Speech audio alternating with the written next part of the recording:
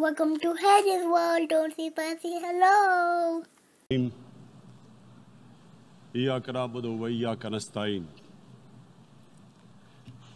What is radical Islam? There is only one Islam. And that is the Islam we follow of Prophet Muhammad sallallahu alaihi wasallam. There is no other Islam. This Islamic terrorism, Islamic radicalism, and sadly used by leaders, this has been the main reason for this Islamophobia. I'm sad to say that we Muslim leaders have not addressed this issue either. After 9 11, when this thing came about war against radical Islam, rather than Muslim leaders trying to explain to the West that there is no such thing as radical Islam, in all human communities, they are radicals. They're liberals and rest are moderate. All human communities, Christians, Jews, everyone has it. But Islam is not radical, neither Judaism, neither Christianity, neither Hinduism. No religion preaches radicalism. All, the basis of all religion is compassion and justice. In Islam, the Prophet announced that everyone was free to practice his religion. It was a sacred duty to, to, uh, to, to protect the places of worship of all religions. He announced that every person is equal in front of law, whatever his religion or his color. The Prophet lives in our hearts. When he's ridiculed, when he's insulted, it hurts. The, as we human know, we human beings understand one thing the pain of the heart is far, far, far more hurtful than physical pain. Do not use freedom of speech to cause us pain by insulting a holy prophet. That's all we want. 70,000, 70,000 people killed in a war we had nothing to do with. No Pakistani was involved in 9 11. Uh, Taliban were in Afghanistan, Al Qaeda was in Afghanistan. What had we to do with it? 70,000 Pakistanis died. He said, We have problems with you. There are terrorist attacks, which we know are instigated from, uh, by India in Balochistan.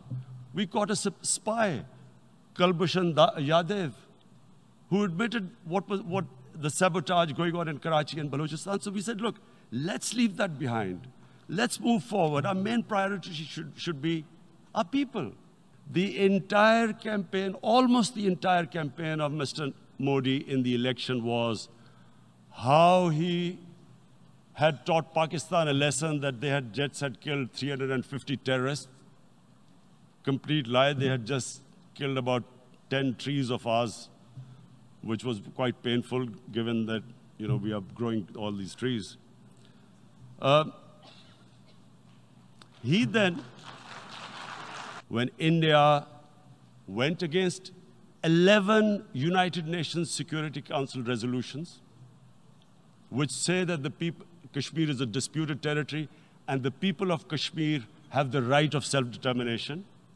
They went against that.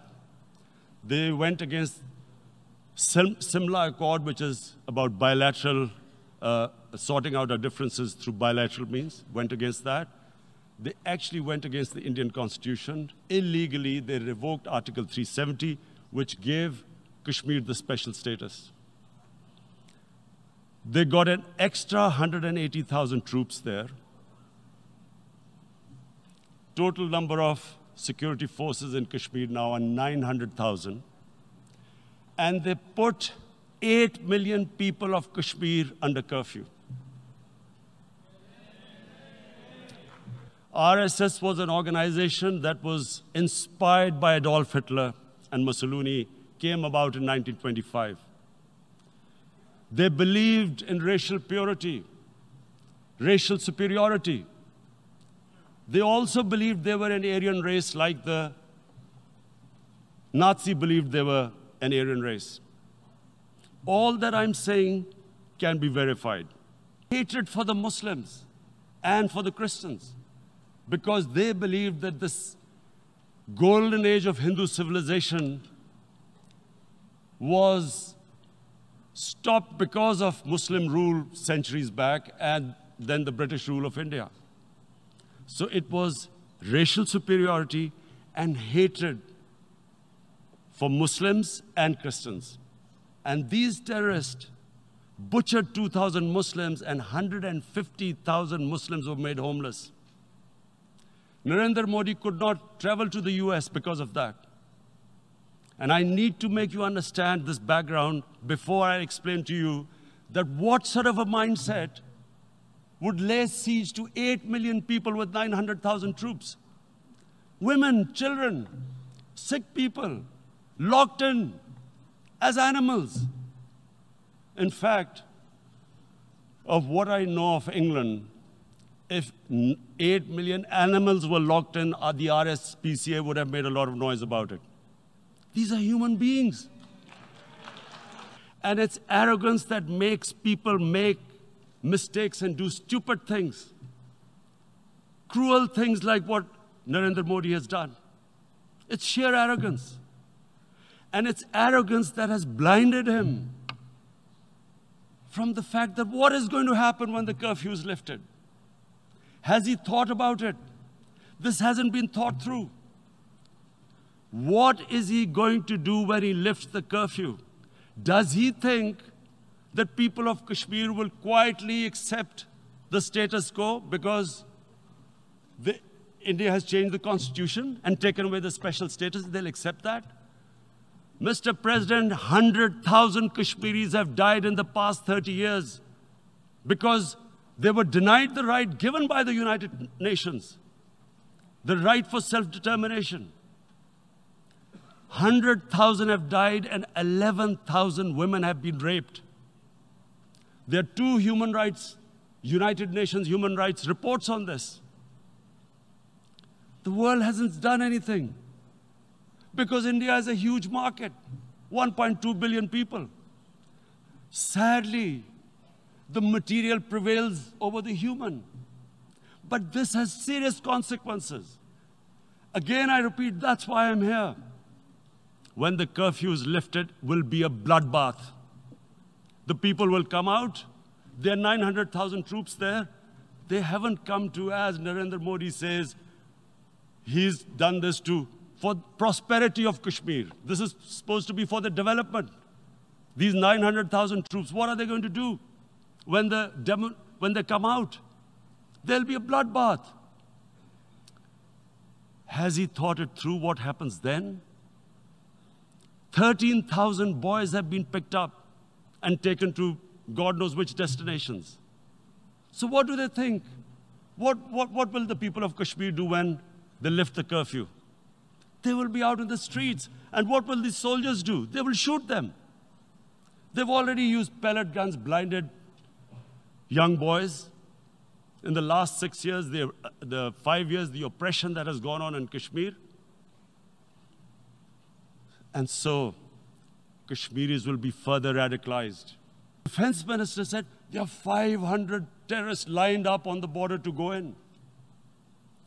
Why would Pakistan send 500 terrorists when there are 900,000 troops? What impact are they going to make? What will they do? And why would?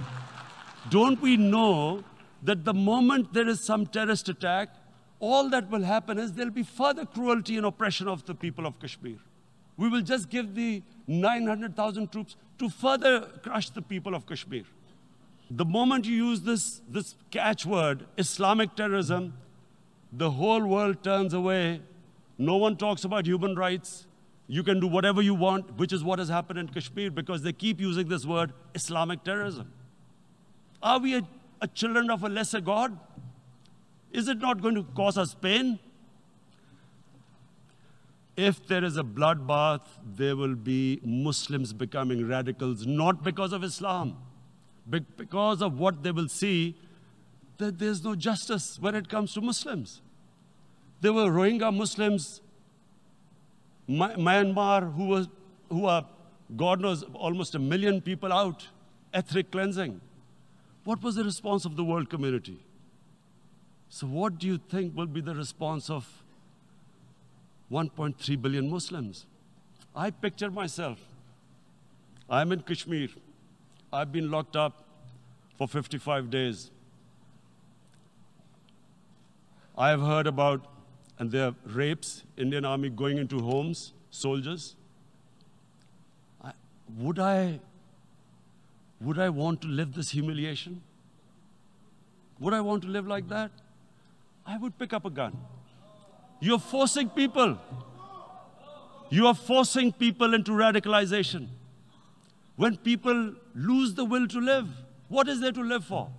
And this is what, if you can do this to human beings, you are actually radicalizing people. There will be a reaction to this. Pakistan will be blamed. Two nuclear armed countries will come face to face, like we came in February. And before we head in that direction, the United Nations has a responsibility. This is why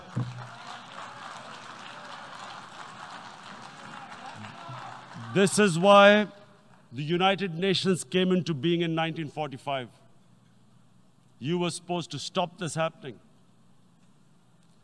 I feel we are back to 1939, Munich.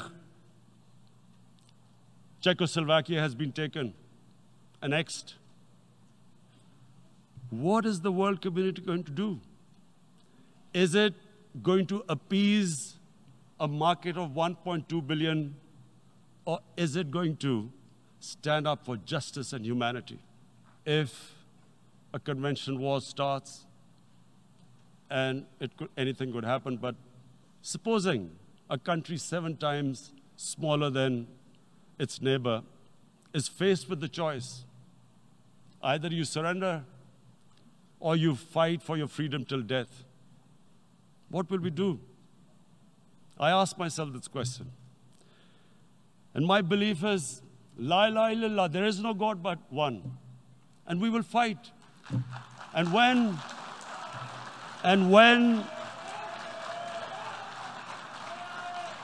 and when and when a nuclear armed country fights to the end, it will have consequences far beyond the borders.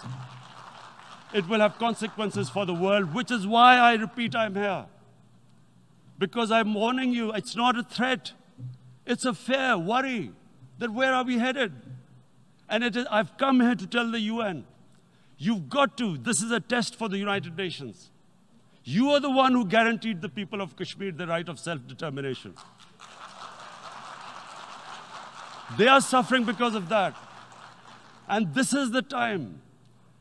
This is the time not to appease like in 1939 appeasement took place. This is the time to take action. And number one action must be that India must lift this inhuman curfew, which has lasted for 55 days. It must free. It must free all political prisoners, and especially those 13,000 boys that have been picked up. Parents don't know where they've disappeared. The world community must give the people of Kashmir the right of self-determination. Thank you. Thank you for watching.